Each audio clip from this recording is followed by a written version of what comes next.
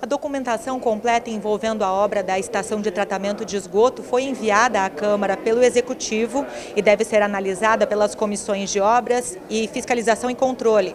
O vereador Marquinhos Souza, que é líder do governo aqui na casa, comenta sobre essa discussão. Os documentos eles foram encaminhados aqui para a Câmara Municipal, eh, atendendo uma solicitação tanto da Comissão de Obras quanto da Comissão de Fiscalização e Controle. Nós temos ainda que sentar com a mesa diretora dessa casa para ver a possibilidade de uma união dessas, dessas comissões para que ambas analisem essa documentação. É uma documentação muito vasta, com muitas informações, é, são informações desde o início da discussão da contratação do projeto, ah, para que se pudesse pleitear esse recurso junto ao Ministério da Cidade e é algo que deva ser tratado com muito carinho e com, será de bastante trabalho, porque são muitas páginas aí.